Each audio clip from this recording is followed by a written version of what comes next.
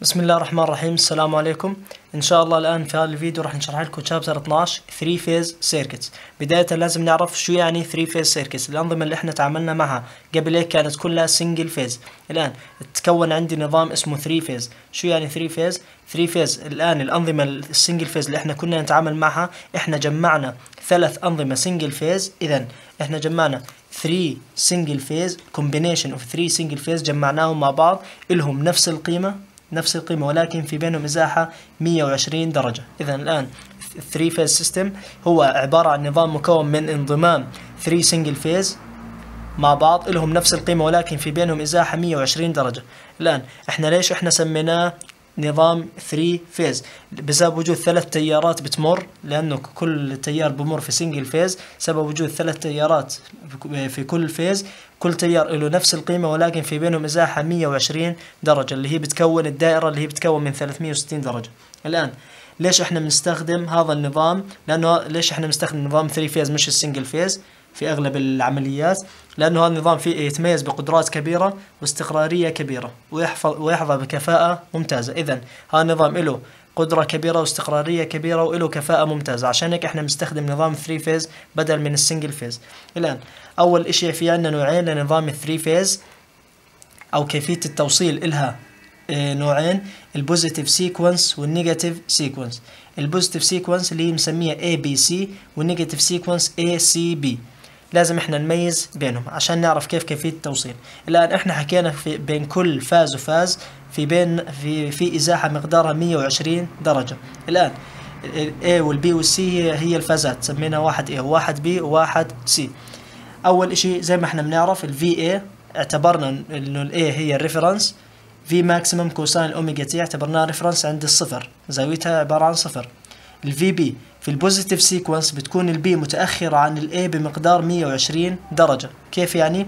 يعني V max cosine ال omega t ناقص 120 وال VC في ال positive sequence بنحطها مو يا إما سالب 240 يا إما موجب 120 اذا إحنا اول أول نوع عندنا اللي هو ال positive sequence ال A إحنا بنعتبرها دائما reference اللي هي بتكون يا إما صفر يا إما يا إما زاوية معينة ولكن إحنا بنعتبرها reference ال B بتكون بال positive sequence سالب 120 بالنسبة لزاوية A وال C يا إما موجب 120 يا إما سالب 240 نفس الشيء لأنه الدائره الدائرة لو جيتها سالب 240 هي نفسها موجب 120 الآن هسا لو كتبناها بنظام ال polar ال VA تساوي V max في الزاوية صفر ال VB تساوي V max في الزاوية سالب 120 وال VC تساوي V max في الزاوية موجب 120 الآن لو إحنا جينا نرسمهم على بشكل بياني.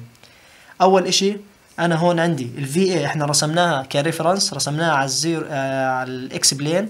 هاي ال VA هسا إحنا في عندي ال VB ال VB مزاحة عن ال VA بزاوية سالب 120 درجة. إذا نزلنا سالب 120 ورسمنا B طيب ال VC موجب 120 أو سالب 240 لو جينا من هون سالب 240 بنيجي هون أو موجب 120 نفس الإشي. اذا هي ال VC.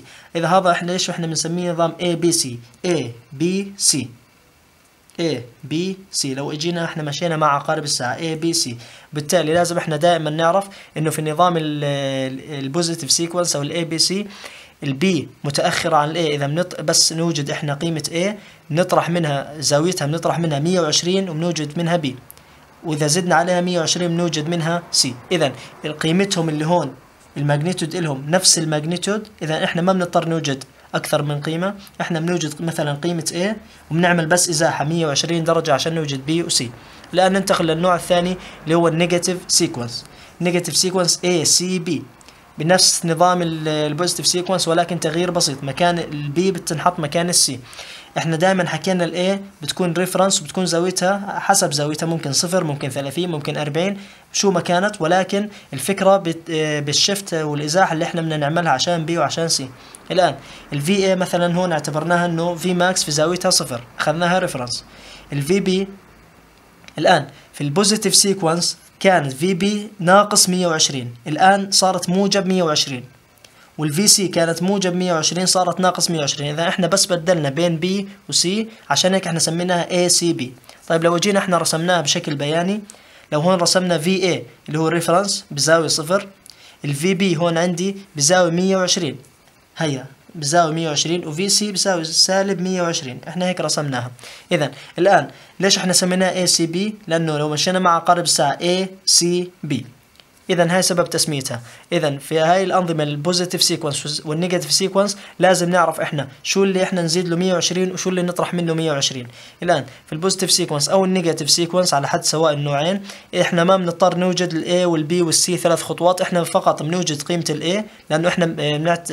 عندنا نظام balanced يعني نظام متزن يعني ال A وال B وال C متساويات. إحنا بنوجد قيمة A وال magnitude اللي بتكون موجودة هون هي نفسها للثلاث ولكن إحنا بس بن shift الزاوية نعملها إزاحة.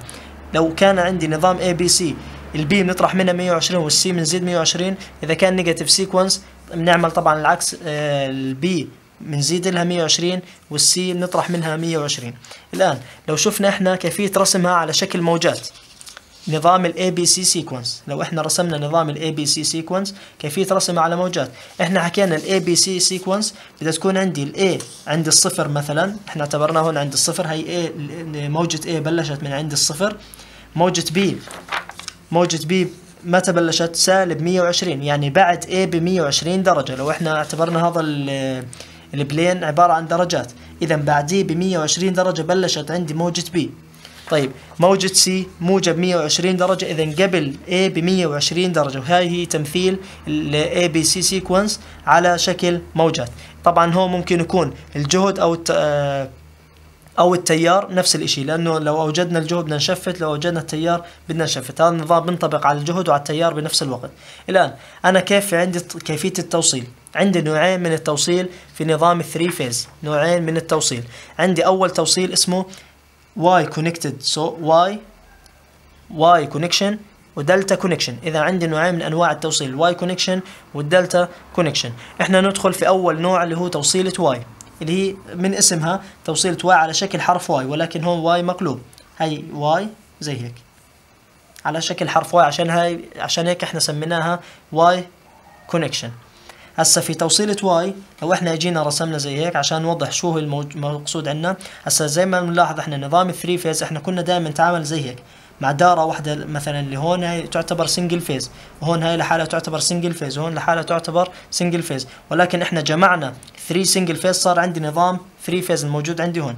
الآن أنا في عندي هذا مصدر طبعا إحنا بنعتبره generator أو يعني مولد أو مصدر جهد إلى آخره. وهون أنا في عندي نظام ال single phase الثاني تبع B وال single phase الثالث تبع C الآن الفي اي ان هاي الموجودة عندي. إحنا إيش بنسميها؟ V phase إحنا بنسميها V phase دائما هسه في عندي مصطلحين لازم إحنا نميز بينهم ال phase وال line طيب إذا أنا كان في عندي بين ال phase ال A وال neutral هاي نقطة ال neutral نقطة التعادل. إذا بين A و N إحنا بنسميها phase بين A و B يعني بين فازين بنسميها line اذا لو أنا بدي أوجد V line إيش هي ال V line الجهد بين فازين. الجهد بين الفاز A والفاز B. وال وال phase voltage وال V phase الجهد بين A وال neutral اذا هاي الجهد بين A وال neutral إيش قيمته؟ في اي ان طيب إذا أنا بدي أوجد V line في بين A و B بنسميها VAB هاي الشغلات لازم إحنا نميز بينها ونحددها مباشر لأنه دائما راح ننسأل V line أو V phase أنت أنت لحالك بدك تكون عارف شو يعني V line شو يعني V phase نكرر بس آخر مرة. ال V line اللي هي الجهد بين two phases بين الفاز A والفاز B. هاي بنسميها V line وبين ال A وال neutral بنسميها phase هاي بالنسبة لتوصيلة Y طيب عندنا خصائص لتوصيلة Y أول إشي التيار الموجود عندي هون أنا إيش بنسميه؟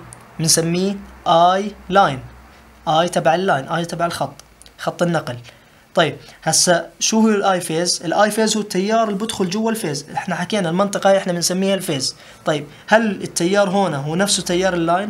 بم... في توصيلة Y نعم. I phase تساوي I line لأنه التيار بمرق هون هي إحنا بنلاحظ نفس ال I line. في عندي أنا هون I line وهون I line.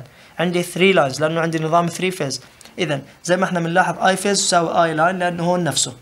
طيب هسا ال V line أنا كيف بدي أوجد قيمة ال V line هاي؟ وموجود عندي قيمة ال V phase V line اللي هون تساوي جذر الثلاث في قيمة ال V phase ولكن بن shift زاويتها كمان 30 درجة موجب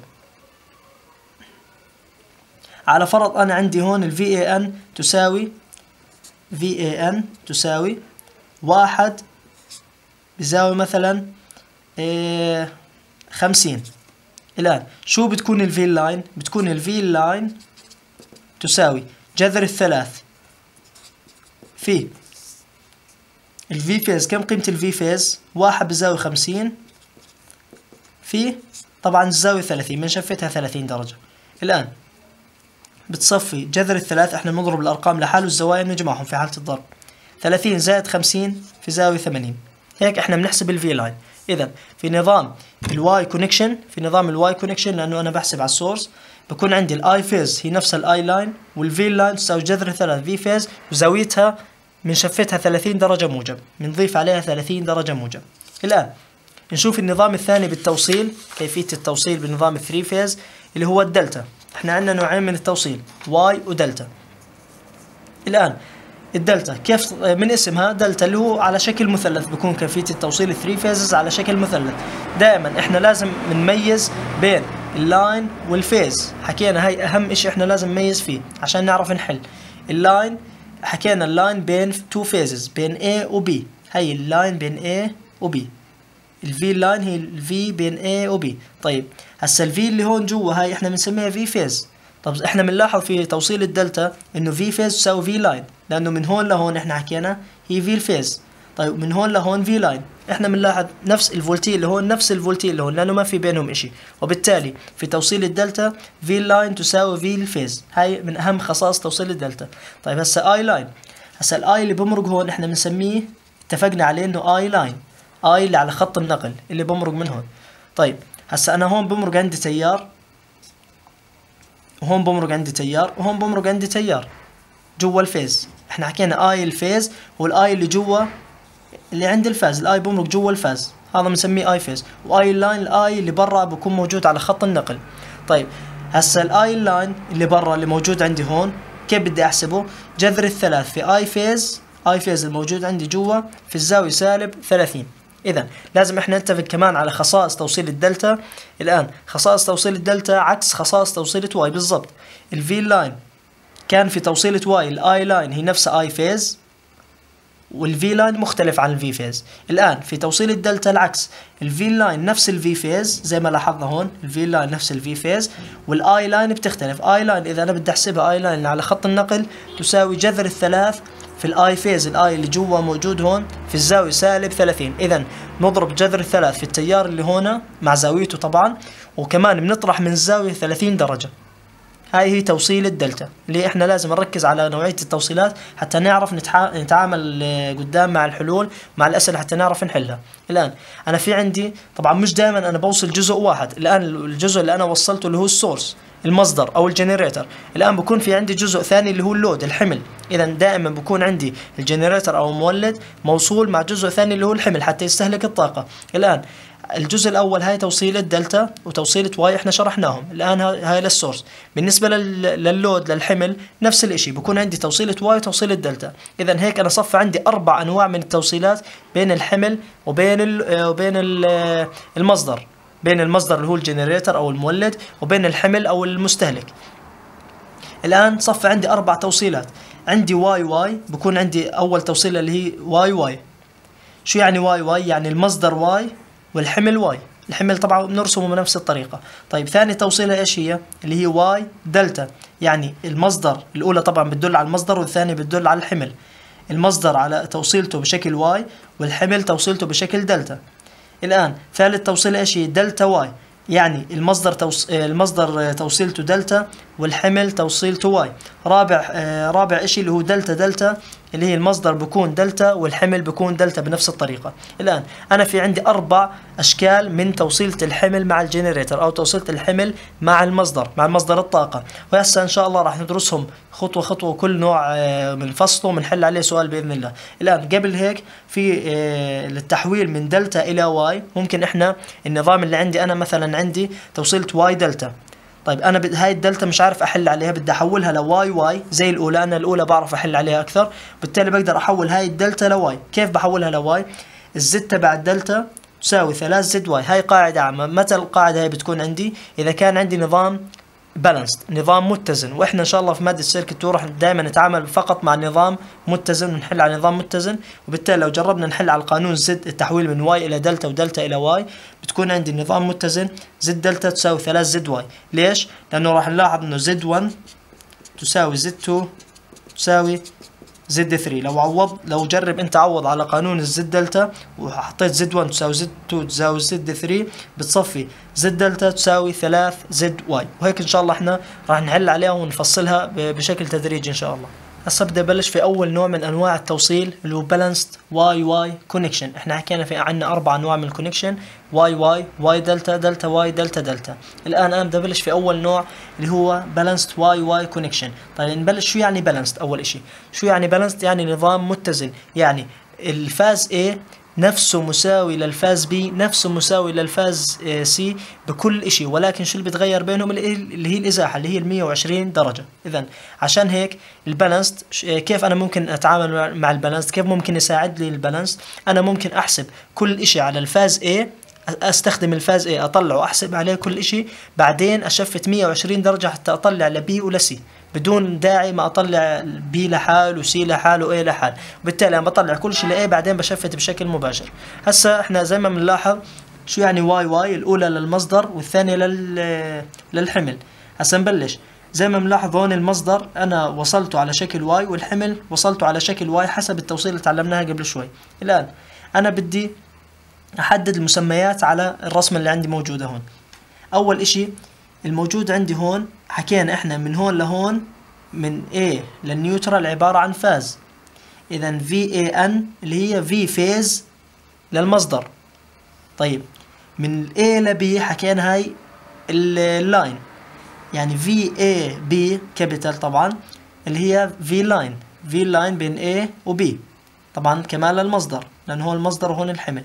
طيب هسا إحنا الشغلات لازم نركز عليها. ال VAN الجوا اللي بين ال A وال neutral هاي ال phase وبين ال two phase بنسميها ال line هسا التيار اللي بمرق هون على خط النقل اللي إحنا عرفناه قبل شوي اللي هو تيار ال line هاي I line I A capital A small عبارة عن I line طيب إحنا خلصنا من جهة المصدر. هسا ندخل لجهة الحمل.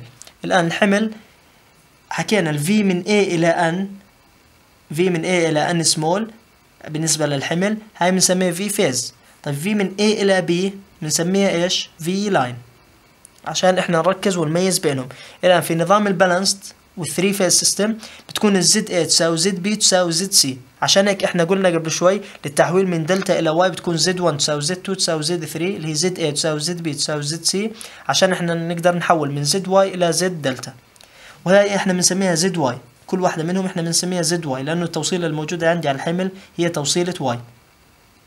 إذا هذا اللي هو تيار A تيار A تيار ال line تبع A هاي تيار ال line تبع B وهاي تيار ال line تبع C. إحنا لازم نركز هون تحت إنه كيف وصلنا. في توصيلة ال Y Y بنوصل القريب مع البعيد والقريب مع البعيد. طيب. لا إحنا الآن ميزنا شو يعني phase وشو يعني line شو يعني I phase شو يعني I line شو يعني V phase شو معنى شو معنى V line الان التيار اللي هون جوا المنطقة هاي هاي بنسميه I phase التيار اللي هون I line هون I phase في Y Y زي ما إحنا بنلاحظ ال I line هي نفسها I phase لأنه نفس التيار بمرق جوا. ولكن V line تختلف عن V phase لأنه V من هون لهون V phase و V من هون لهون عبارة عن V line هسا أنا لو لو بدي أفرض ال V A N اللي هون قيمتها اللي أخذتها ك reference يعني ك كشيء ابتدائي شيء أساسي أعتمد عليه.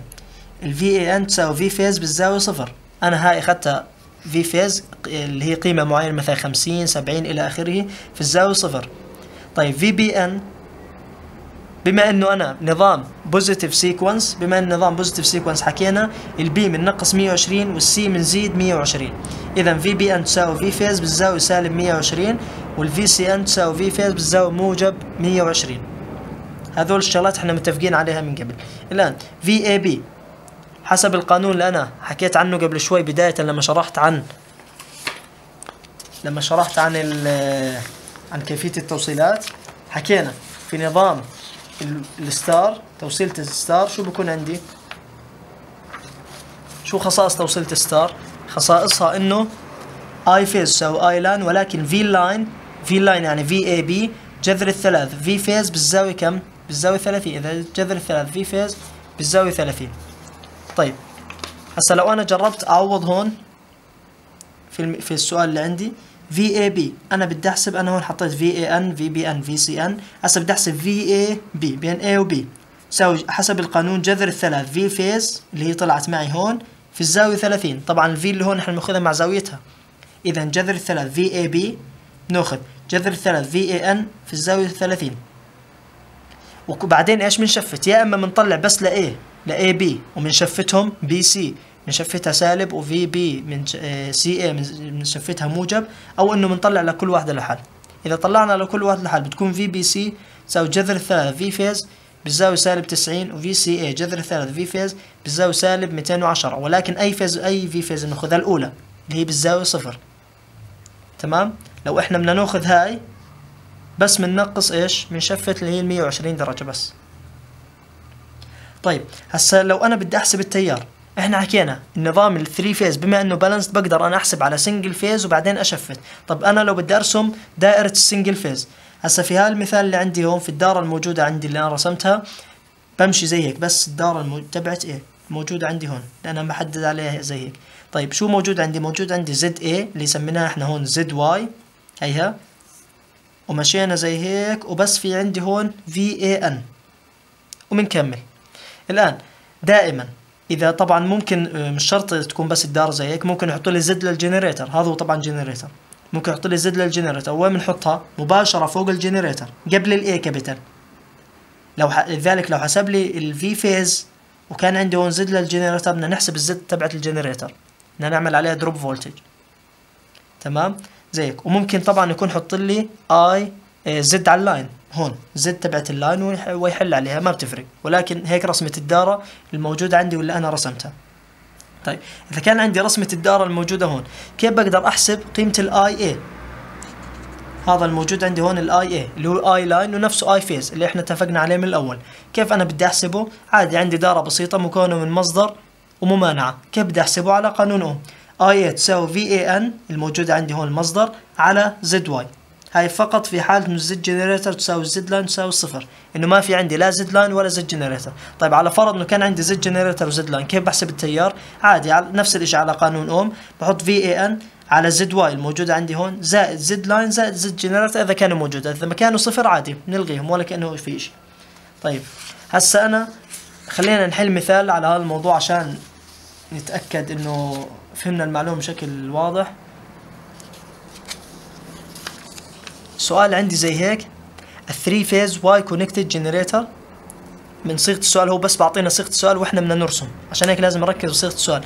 3 phase Y connected generator يعني أنا عرفت إنه ال generator موصول على توصيلة Y has an impedance of معطيني الآن قيمة Z generator ل 0.2 زائد J.5 هسه the internal phase voltage of the generator is 120 أنا أعطاني انه قيمه الجهد الداخلي لل generator الموجود عندي هون يعني ال V الموجوده عندي هون قيمتها 120 بزاوية صفر. اللي إحنا بنعتبرها A دائما اللي بعطيني إياها بتكون A اللي هي ال reference وبنعتبر إذا ما أعطاني زاويتها بتكون زاويتها صفر.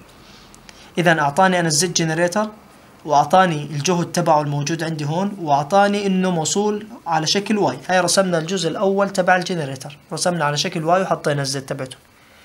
الآن بنكمل السؤال. The generator feed a balanced 3 phase Y connected load. اذا ال load موصول عندي على شكل Y. ال Z load إله الزد لو كم قيمتها؟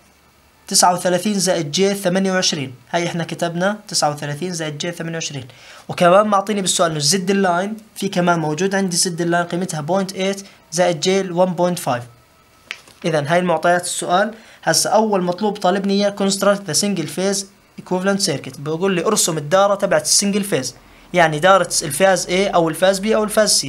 أنا بدي أرسم دارة ال phase A. هاي رسمتها أنا موجود بنيجي زي هيك إحنا حكينا بنرسمها من هيك هيك هيك هيك. هاي phase A نرسم. موجود عندي هون Z تبع الل... Z تبع ال load هاي هاي 39 زائد J 28 موجود هون عندي Z ال line اللي هو معطيني إياه بالسؤال وهون Z generator كمان أعطاني إياه بالسؤال. هون المصدر تبع ال generator اللي هو 120 في زاوية صفر. هسا لازم الشغلة اللي ننبه عليها. وين ال V phase لل... بالنسبة للمصدر؟ من A إلى ال neutral ال A بتكون بعد ال Z generator إذا أعطاني Z generator ما بنحطها قبل بنحط بس هاي ال V phase لا. ال V phase مش ال 120 بيساوي صفر. ال V phase من هون إلى هون. يعني ال V phase بدها تكون 120 بيساوي صفر. ناقص ال drop voltage اللي هو الهبوط في الجهد على هاي المنطقة على ال Z generator هاي لازم نركز فيها. هاي أمر ضروري كثير جدا لأنه تختلف الحل. لو أنت اعتبرت إنه ال 120 بيساوي صفر هي ال V phase بيكون الحل كامل غلط. طيب نشوف المطلوب الثاني. بحكي لنا the line currents. طالبني ال line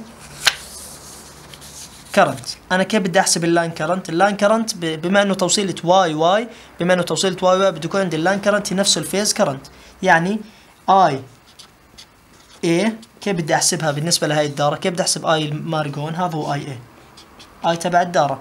شو بتساوي؟ تساوي ال VAN ال V الموجودة عندي هون 120 بيساوي صفر. هاي عبارة عن دارة بسيطة متكونة من مصدر وممانعات. على مجموع الممانعات اللي عندي هون نفس القانون شرحناه قبل شوي. مجموع الممانعات. إيش هم الممانعات؟ Z generator زائد Z ال line زائد Z ال load الموجود عندي هون. طيب لو إحنا حسبنا قيمة ال IA كم تطلع قيمتها؟ تطلع قيمة ال IA تساوي 2.4 بزاوية سالب 36.87 degree أمبير. طيب هسه بحكي ال line current يعني بده اللاين كرنت لاي واللاين كرنت لبي واللاين كرنت لسي أنا بس حسبت ل A طيب شو الميزة بال balance حكينا إنه بتقدر تحسب بس لواحد وت shift الثانيات. طيب كيف يعني ت shift الثانيات؟ يعني IB بما إنه positive sequence يعني بننقص 120 درجة. ال IA بيساوي سالب 120 وتساوي 2.4 نفس قيمتها ولكن بننقص منها 120 تطلع عندي IB ناقص 150 56 point ثمانية سبعة. و IC يساوي IA بزاوية مية وعشرين. بتساوي two point four وزاويتها ثمانين ثلاث ثمانين point واحد ثلاث. طبعا أمبير. هيك أنا حسبت أول مطلوب اللي هو ال line currents حسبناه مباشرة على القانون. إحنا رسمنا ال single phase the equivalent circuit رسمناها طلعنا قيمة التيار اللي هو الجهد الموجود عندي على مجموع الممانعات. حسبت ل A هسا ل B ول C بس مباشرة ب shift 120 درجة. بما إنه positive sequence ل B طرحت 120 درجة ول C جمعت 120 درجة بس للزاوية اللي موجودة عندي.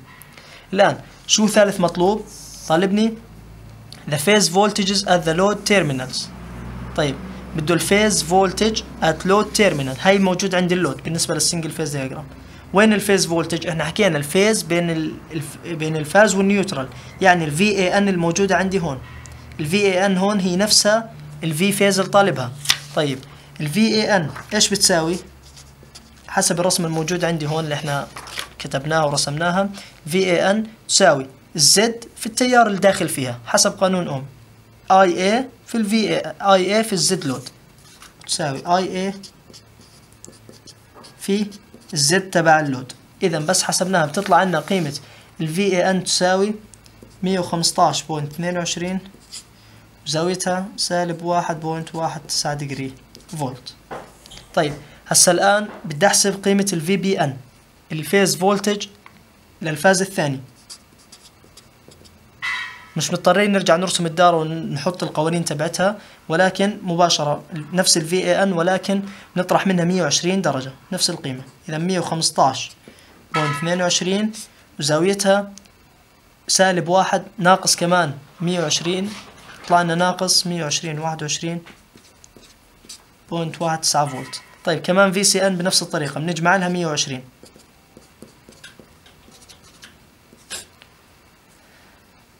مية وثمنتاش point ثمانية واحد فولت. فهيك إحنا بنكون حسبنا. أو ممكن طريقة ثانية. ممكن نحسب ال VBN بدون ما ن shift. ممكن نحسب ال VBN تساوي IB اللي هي طلعناها هون في ال Z تبع ال B اللي هو نفس Z تبع ال A اللي هو Z ال load. هيك إحنا بنكون أوجدنا الفيز فولتج لللود الفيز فولتج لللود طيب هسا ثالث إشي إيش طالبني؟ بحكي لي ال line voltage at load حكينا إحنا وشرحنا. إنه في حالة ال Y connection load في حالة ال Y V line تساوي جذر ثلاثة V phase بزاوية ثلاثين هو بيطالبني ال line voltage at load طيب كيف بدي أحسبها؟ بحسبها كالتالي. ال line voltage اللي هو بين فازين إحنا اتفقنا. اذا IAB تساوي جذر الثلاث. I phase تبع في الزاوية 30 وتساوي جذر الثلاث في. ال I phase تبع A اللي إحنا طلعناه هون. 2.4 زاويته سالب 63 2.4 زاويته سالب 36.87 في تساوي 30 إحنا حكينا بنضرب الأرقام وبنجمع الزوايا. تطلع عندي بالآخر قيمة ال line. هو طالبني ال line voltage عفوا. مش الف... مش ال مش ال line current. أنا طلعت هون ال line current اللي أنا حسبت عليه. هو حسب لي ال line voltage يعني VAB نفس عادي ما في مشكلة. أنا عندي في اي ان بنفس الطريقة نفس القانون جذر الثلاث في ال V phase في الزاوية ثلاثين.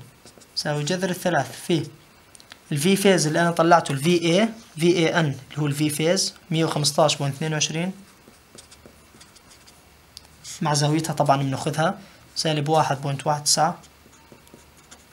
في الزاوية ثلاثين. حكينا نضرب الأرقام وبنجمع الزوايا. بتطلع عندي قيمة V A B مية وتسعة وتسعين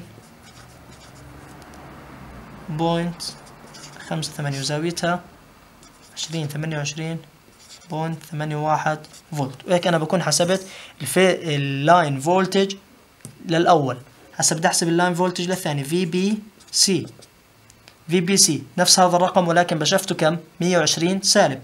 إذا 199 point خمسة ثمانية و shift الرقم سالب 120 إذا بيطلع عندي سالب 90 91 point واحد تسعة فولت. هسا V C A نفس الطريقة نفس الرقم ولكن بن shift الرقم الموجود عندي هون بن shift زاويته نعمل إزاحة لزاويته بمقدار موجب 120 إذا موجب 120 140 48 point 81 فولت. وهيك أنا بكون حسبت V A B ال line voltage ل A و B و C. ال line voltage ل A و B و C. هسا لو طلبني ال phase voltage at generator side بده ال phase voltage لل generator إحنا حكينا ال phase بين A و B. ال phase voltage مش ال 120 بيساوي صفر. ليش؟ لأنه الفيز فولتج حكينا بين ال A والنيوترال الزيت جنريتر بتدخل قبل ال A. وبالتالي شو إحنا بنعمل؟ ان إيش بتساوي؟ حسب. بنعمل كيرشوف هون كي في ال على المنطق اللي عندي هون. بتطلع عندي الفي VAN ال EA للجنريتر اللي هي 120 بزاوية صفر ناقص التيار بومرجون ناقص الفي تبعت تبعت الزد جنريتر. إيش الفي تبعتها ال I في ال Z ال I هو I A في ال Z generator. زائد I A في ال Z generator اللي هي 120 بزاوية صفر. زائد ال I A طلع معي بالسؤال 2.4 زاوية 2 33.87 في ال Z تبع ال generator. ال Z تبع ال generator 0.2 زائد j 0.5 وهيك إحنا بنحسب قيمة ال VAN تطلع عندي قيمة ال VAN 118.9 وزاويتها سالب 0.32 فولت. طب هسه لو بدي احسب VBN ال phase voltage على بالنسبة لل source ولكن إيش؟ ال VBN بالنسبة لل phase B نفس الرقم ولكن إيش؟ بن shift زاويته. كم بن shift زاويته؟ 120 سالب لأنه عندي positive sequence اذا سالب مية وعشرين point ثلاث اثنين. سالب مية وعشرين point ثلاث اثنين. طيب V C N ن shift زاويته موجب مية وعشرين. بزاويته مية وتسعتاش point ستة ثمانية. volt volt طبعا. هاي على إيش؟ على جهة ال... على جهة ال source. اللي هو أي جهة؟ جهة ال source الموجود عندي. لازم إحنا نميز شو مطلوب السؤال. إنه طالب هو جهة ال generator أو جهة ال source. بحكي لنا بنص السؤال phase voltage at generator terminals أو generator أو أو load terminals عشان نميز إحنا شو اللي بدنا نحسبه. هل هو عند الحمل ولا عند المصدر الطاقة الموجود عندي؟ الآن ندخل نشرح الموضوع الثاني اللي هو ال balanced Y delta connection. إذا نوع التوصيل الثاني اللي هو Y delta. ال Y ال source بيكون عندي توصيلته Y والحمل بيكون توصيلته دلتا. هسا نشوف كيف توصيل. هسا نبلش بالحمل. الحمل هي توصيلته Y زي ما بنلاحظ وعادي بما إني أنا هون مش حاط Z generator يعني مش مهم. هون مش حاط Z line هاي توصيلة Y بشكل طبيعي. من هون لهون ال V بتكون V phase ومن هون لهون V line هاي إحنا اتفقنا عليها. I اللي بدخل هون I line وهون I phase بالنسبة لل... لل... لل source. هسا نيجي لل... للحمل. الحمل توصيلته دلتا. زي ما نلاحظ هون توصيل الدلتا هون Z delta هون Z delta هون Z delta. اللي هي نفسها ال Z هون تساوي Z هون تساوي Z هون لأن النظام عندي balanced متزن. وبالتالي أنا بحتاجش أحل على أكثر من نظام بحل على نظام واحد وبعمل ب shift زي ما كنا نعمل. الآن التيار بدخل عندي هون بمشي من هون لهون بنسميه I A B اللي هو I إيش؟ I phase. بدخل جوا إحنا حكينا اسمه I phase التيار بدخل عندي من هون لهون I C A اللي هو I phase تيار بدخل عندي من هون لهون I B C اللي هو نفسه I phase طيب تيار بدخل عندي هون هو ال I line بالتالي إحنا بنلاحظ هون I line بدخل هون بتوزع. يعني I line ما بيساوي I phase ولكن V line من هون لهون هاي بنسميها V line V line إيش بتساوي؟ V phase V line من هون لهون هي نفس ال V من هون لهون. V line تساوي V phase هسا ندخل آه طبعا هاي من خصائص ال delta connection load هسا ال I A B ال I A B أنا بدي أحسب ال I A B ال I وين؟ I هون. I اللي بمرق من هون لهون. كيف بدي أحسبه؟ إذا أنا معي الجهد من هون لهون ال V A B ال V phase وقسمته على ال Z بطلع ال I على قانون اوم طيب I AB زي هيك تحسب ال V على ال Z. طيب هسا ال I A I داخل عندي هون. حتى نثبت القانون اللي طلعناه قبل شوي من خصائص الدلتا. هسا ال I A لو أخذت أنا KCL هون. I A إيش بتساوي؟ مجموع التيارات الداخل تساوي مجموع التيارات الخارج. I A إيش بتساوي؟ I AB ناقص I CA I AB لو عملنا على النقطة هاي I AB ناقص I CA طيب زي ما إحنا بنعرف I CA هي نفس ال I AB ولكن بشفتها سالب 240 لأنه هون عندي نظام ABC اللي هو positive sequence ال I CA هي نفس ال I AB ولكن يا إما بنطرح منها 240 يا إما بنزيد لها 120 طيب لو بس عملنا زي هيك وجمعنا هاي مع هاي طرحنا هاي من هاي بتطلع عندي ال I A تساوي I AB I line تساوي I phase I AB هو I phase و I A هي I line في جذر الثلاث في زاوية سالب 30 اللي هو القانون اللي إحنا شرحناه في بداية الشرح بالنسبة لخصائص الدلتا connected الدلتا connected بيكون ال I line اللي هو ال I A تساوي I phase في جذر الثلاث في زاوية سالب 30 هاي إشي لازم نركز عليه. الآن V AB ال V من هون إلى هون. هاي بنسميها V line V AB تساوي جذر ثلاث V phase بزاوية 30 اللي هي نفس الإشي من خصائص ال Y من خصائص ال Y إنه هو ال V line تساوي جذر الثلاث V phase بزاوية 30 هون الزاوية سالب 30 لازم نركز. بالنسبة للتيار بتوصيل الدلتا بيكون الزاوية سالب 30 بالجهد بتوصيلة Y بيكون موجب 30 وبالتالي هون أنا حسبت V AB من هون إلى هون. من ال phase A لل phase B بالنسبة للمصدر V AB تساوي جذر ثلاث V line في اللي عندي هون بالزاوية 30 طيب هسا الجهد ال V line بالنسبة للمصدر هو نفسه الجهد بالنسبة للحمل. ليش؟ لأنه الجهد بالنسبة للمصدر بكون من هون من هاي النقطة لهاي النقطة. طيب لو لاحظنا هاي النقطة هي نفسها هون وهاي النقطة هي نفسها هون وبالتالي B capital موجودة عند المصدر هي نفسها B small الموجودة عند الحمل. وبالتالي أنا ممكن أوجد V line عند المصدر وبتكون هي نفسها V line في ال phase عند الحمل. V line عند المصدر هي نفس ال V phase عند الحمل وأنا بقدر أطلع تيار ال phase عند الحمل. هسا في عندنا طريقة ثانية اللي هي للتسهيل على الحل. ممكن تكون طريقة ال Y Y أسهل طريقة للحل. وبالتالي إحنا شو بنعمل؟ هاي توصيل الدلتا ممكن إحنا نحولها لتوصيلة Y. كيف؟ إحنا اعتمادا على القانون بما إنه زد واحد تساوي زد اثنين تساوي زد ثلاث بالتالي Z Y Z اللي التوصيل لل Y تساوي Z دلتا على ثلاث. اذا إحنا بنقسم Z دلتا اللي عندنا هون نقسمها على ثلاث وبتكون عندي توصيلة Y. بتصير التوصيلة بدل Y دلتا بيكون نفس الحل ولكن توصيله بتصير Y Y. بنحل على قبل نفس حل المثال اللي حليناه قبل شوي. إذا هاي شغلة لازم أركز عليها. إذا كان هون الحل صعب أو مش مفهوم ممكن نحول الدلتا اللي عندي هون أحولها ل Y. كيف؟ أقسم زد واي تساوي زد دلتا على ثلاث وبحل بشكل طبيعي. بتتحول توصيلها عندي Y Y بدل Y دلتا. بتكون هيك رسمتها. تكون Z Y اللي أنا طلعتها هون وهون التيار I A هون V AN الموجود عندي بالسؤال. طيب خلينا نحل طيب. مثال على هذا الموضوع. في عندنا example بحكي لنا a balanced ABC sequence يعني التوصيلة ABC positive sequence Y connected source يعني المصدر موصول بشكل Y with VAN تساوي 100 في زاوية 10 يعني الزاوية ما حطيناش مش دائما المفروض تكون صفر عادي ممكن تكون 10 20 إلى آخره. Is connected to delta connected load يعني التوصيلة الموجودة عندنا Y دلتا Z load تساوي 8 زائد j 4 أوم لكل phase calculate the phase and line currents. بده ال phase وال line current طيب لو. حسب الرسمة الموجودة عندي هون نفس الرسمة الموجودة عندي بما إنه ما ذكر لي ال Z generator يعني إحنا بنعتبرها صفر. وبالتالي و Z line كمان صفر لأنه ما ذكر لي بالسؤال. الآن هو أعطاني ال V AN الموجودة عندي هون بالنسبة لل generator قيمتها مية في الزاوية عشرة. طيب وكمان إيش أعطاني ال Z تبع ال load يعني أعطاني نفس الرسمة هاي وأعطاني الجهد الموجود هون وال Z الموجود هون عندي على ال load.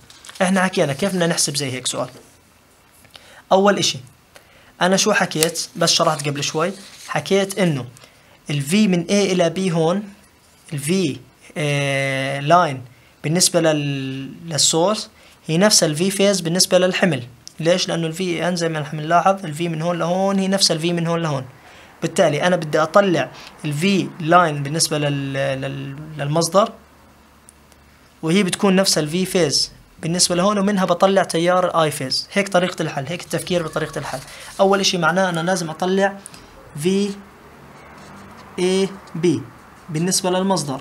V AB حسب قانون اللي شرحناه قبل شوي اللي هو ال line جذر الثلاث. V phase بالزاوية ثلاثين.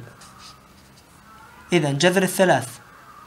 بالزاوية ثلاثين في إذا حكينا V AB تساوي جذر الثلاث في ال V phase في الزاوية ثلاثين. إذا جذر الثلاث في الزاوية ثلاثين ضرب ال V phase كم ال V phase عندنا بالسؤال؟ مية في الزاوية عشرة.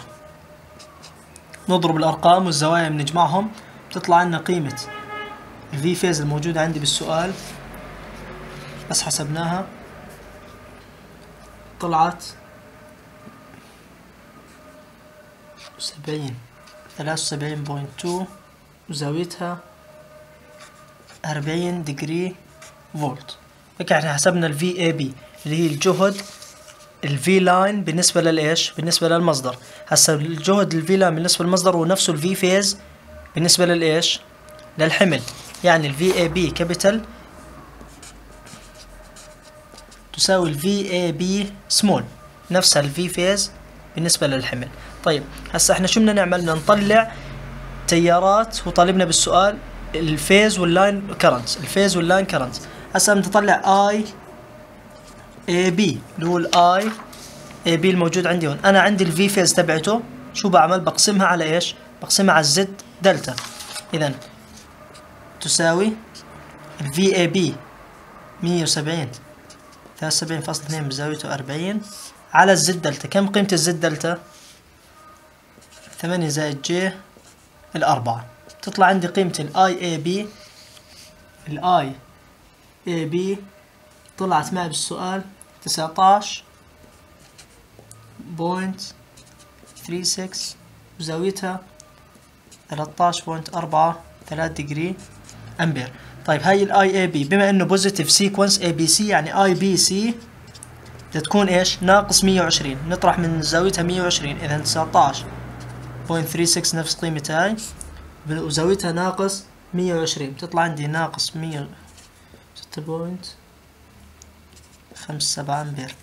طيب و I C A نفس الإشي. بنجمع لها بنجمع لهاي الزاوية 120 اذا 19.36 نجمع لزاويتها 120 بتطلع عندي 133 point أربعة ثلاث degree أمبير. أنا هسه طلعت إيش؟ ال phase voltage. طلعت ال phase current. طلعت ال current هون وال current هون وال current هون. هسه أنا شو ناقصني؟ أطلع ال line current وطالبني السؤال ال line current كمان. يعني ال I A وال I B وال I C طيب إحنا حكينا ال I A إيش بتساوي؟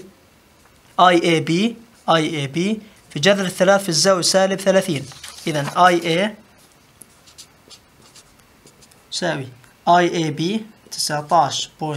three six مع زاويتها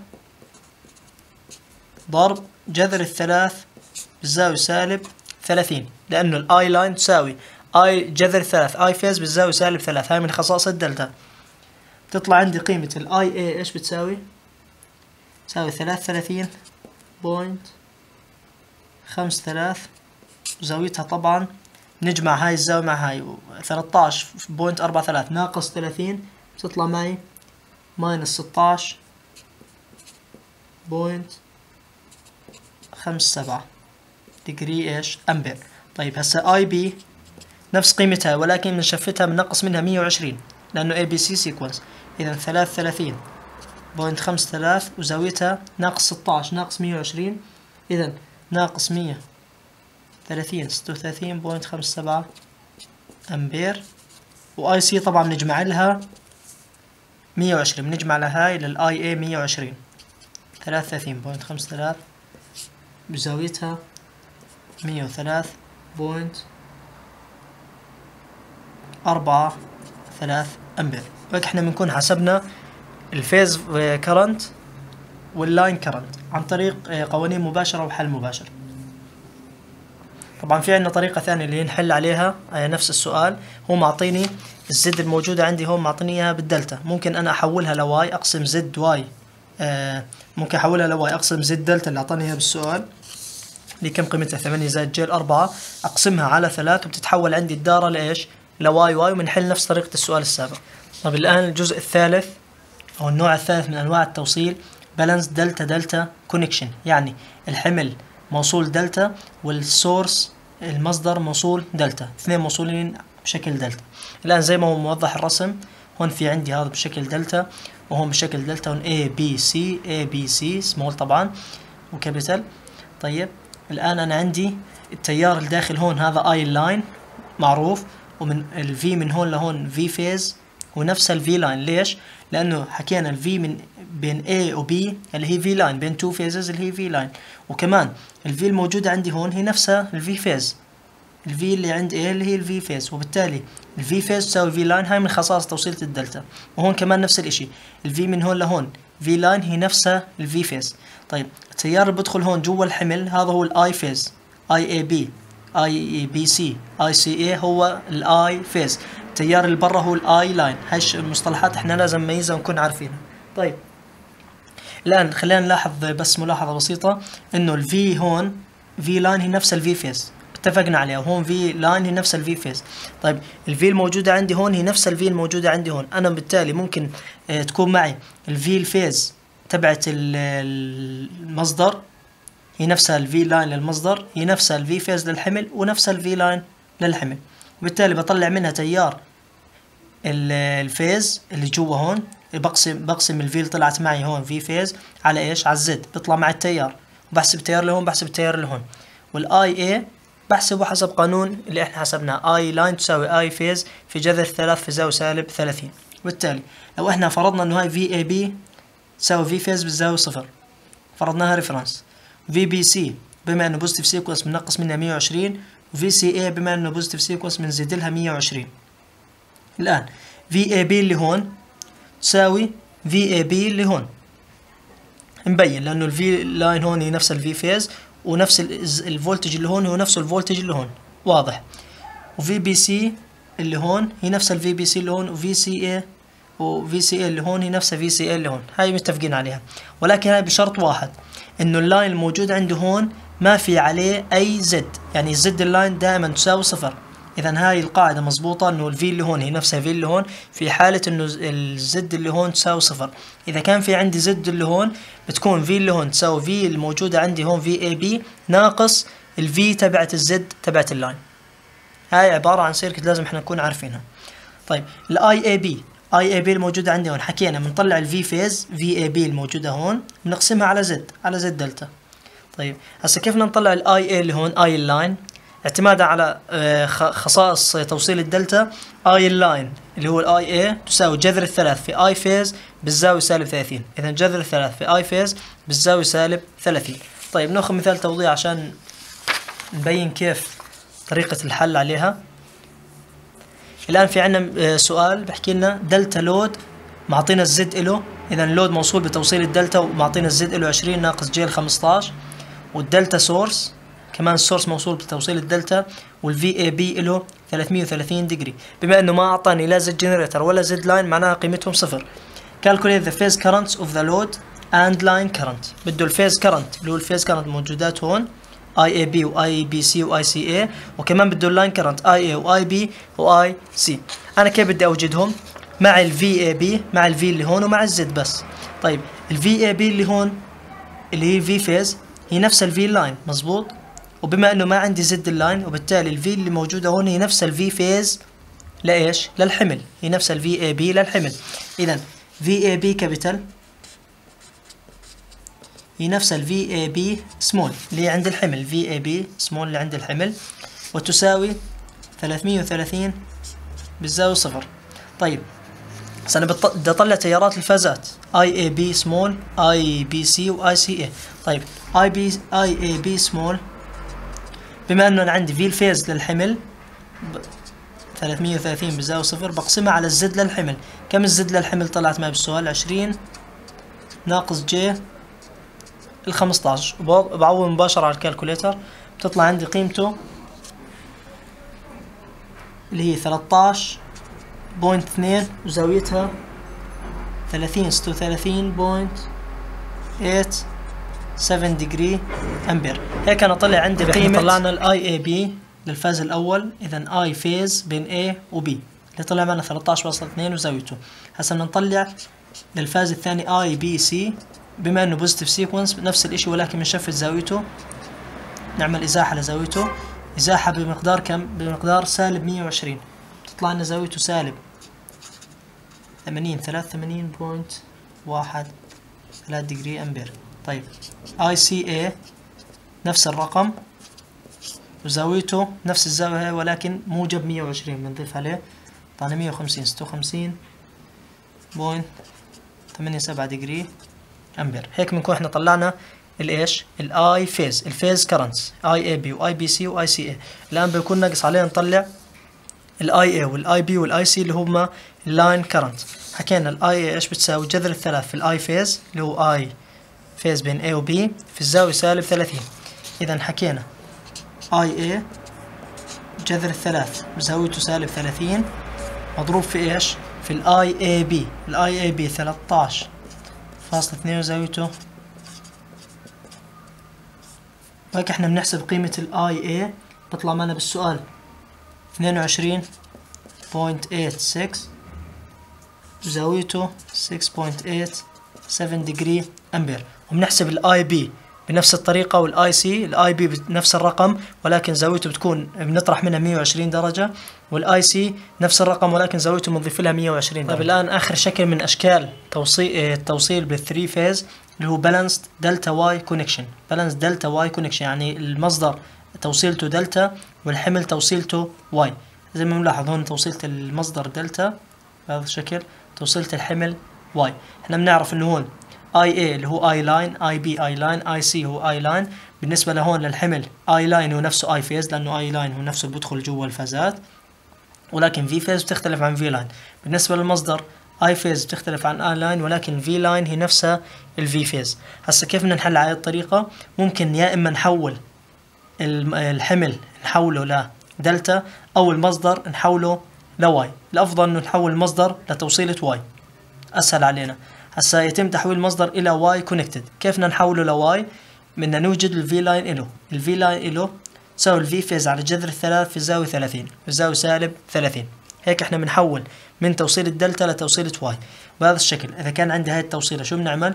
بنطلع ال VAN وال VBN وال VCN ال VAN وال VBN وال VCN بتتحول هاي التوصيل ل wye wye نفس أول مثال حليناه ونفس أول طريقة اعتمدناها اللي هي balanced wye wye connection وبتحول نفس الطريقة بس مباشرة إحنا بنعوض على القانون بنطلع في اي ان وفي بي ان وفي سي ان تحول توصيل عندنا ل wye wye وبنحسب بنفس الطريقة اللي كنا نحسب عليها بالأول. تتحول زي هيك زد واي دارة بسيطة زد واي وهون المصدر اللي هو البسيط عندي هون اللي V phase على جذر الثلاث في زاوية سالب 30 هسا بس نلاحظ ملاحظة أي في فيز هو في اي بي في اي بي مع زاويتها نقسمها على جذر الثلاث والزوايا إيش؟ نطرح من زاويتها كمان 30 درجة. هسا ال VBN كمان هسا ال AN عندنا ال AN ال B شو بنعمل منها؟ بنطرح منها 120 هون كانت سالب 30 طرحنا منها 120 صارت سالب 150 زدنا لها 120 صارت موجب 90 وزي هيك. بنحولها بنحول توصيلها من delta wye إلى wye wye وبنحل بنفس الطريقة اللي كنا اللي كنا نحل عليها بأول مثال. الآن نأخذ آخر موضوع في هذا ال chapter اللي power in balanced system ال power in balanced system كيفية حساب ال power في 3 phase system كيفية حساب ال power في 3 phase system نفس طريقة اللي كنا نحسبها في بداية الشرح في chapter ال power نفس القوانين نفس كل شيء ولكن بيختلف عنا اختلاف بسيط. الآن إذا أنا بدي أحسب ال active power اللي هو اللي هي power average أو بالوات وحدتها. ال active power اللي حكينا عنها. كيف بدي أحسبها؟ ال P total إلها 3 V phase في I phase في cosine ال theta اذا نفس طريقة الحل نفس القانون ولكن نضرب في ثلاث. ليش؟ لأنه عندي 3 phase system اذا نفس طريقة الحل ولكن بضرب بثلاث لأنه أنا عندي 3 phase system أو الثلاث هاي إذا أنا استخد... هاي في حاله اني استخدمت ال V phase إذا استخدمت ال V line تكون جذر الثلاث V line في I line في cosine الثيتا. ليش؟ لأنه ال V phase تساوي V line على جذر الثلاث. ال V phase تساوي V line على جذر الثلاث. إذا إذا أنا استخدمت ال V phase تكون ثلاث V phase I phase cosine ال theta وإذا استخدمت ال I line جذر الثلاث V line I line cosine ال theta ال reactive power كمان نفس الشيء نفس القانون اللي إحنا بنعرفه. إذا ال reactive power Q total للنظام كامل 3 V phase I phase في sine ال theta أو جذر الثلاث V line في I line في sine ال theta طيب هسه ال complex power ال complex power اللي هو مجموع المجموع ال complex power لل three phases اللي هو S من A و S من B و S من C. طب S من A VA في IA conjugate حسب ما نذكر قانون ال complex power. ال VB كمان نفس الإشي.